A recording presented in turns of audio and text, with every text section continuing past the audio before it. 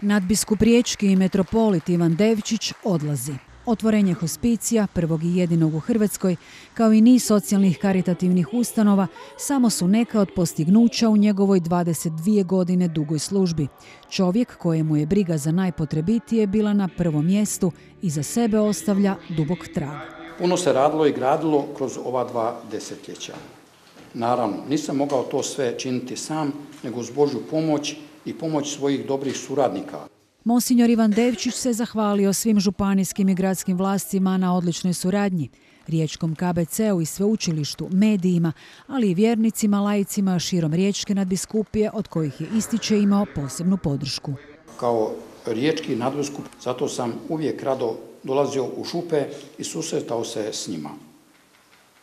Nosim u srcu lijepe uspomene na brojne krizme i susrete s mladima. Sve ih preporučam zagoru našeg nebeskog zaštnika, mladoga svetoga vida.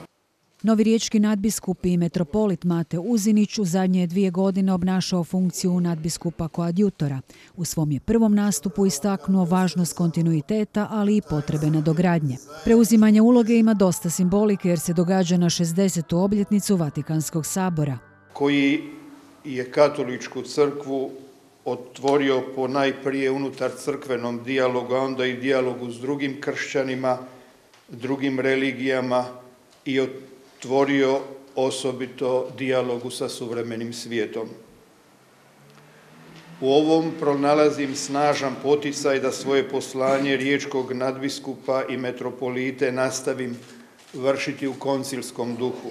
Monsignor Mate Uzinić će 4. studenog u katedrali Svetog Vida simbolično preuzeti službu i primiti biskupski štab iz ruku monsignora Ivana Devčića.